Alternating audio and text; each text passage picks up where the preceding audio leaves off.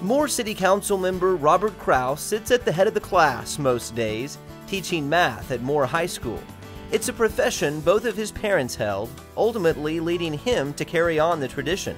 I think I take a little bit after my dad and a little bit after my mom. You know, my dad taught government history and was involved a little bit in politics, you know, in terms of doing some campaign help, and so I kind of followed my dad with the with the with the politics a little bit, I guess, and and my mom was a, math teacher, you know, so I think I kind of kind of just kind of fell, you know, under her wing a little bit, I guess, and kind of went that direction, and uh, came naturally into teaching math.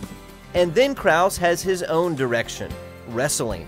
Despite a wrestling injury as a kid that left him partially paralyzed, Krows has dedicated himself to the sport, serving as head wrestling coach for Central Junior High and assistant coach for Moore High School.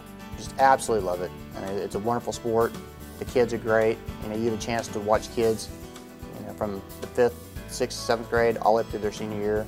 So I get a chance to really bond with those kids and just watch them grow. Krows also has a sports history of his own, having played on the U.S. wheelchair rugby team, where he traveled the world for a period of time, representing the United States in the sport.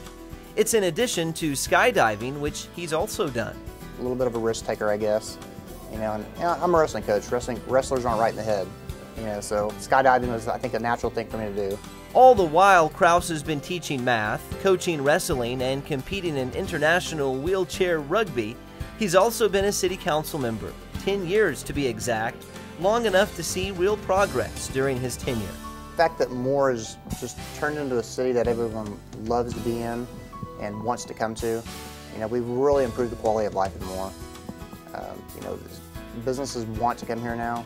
You know, usually if you wanted to go eat at a good restaurant, go watch a movie, uh, you know, anything along those lines, you had to leave the city.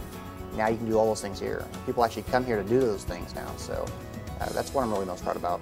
And what do his students think about having a politically connected teacher? Most of my kids don't realize it. You know, it's not, being on the city council isn't something that I, I publicize, don't talk a whole lot you know, to them about.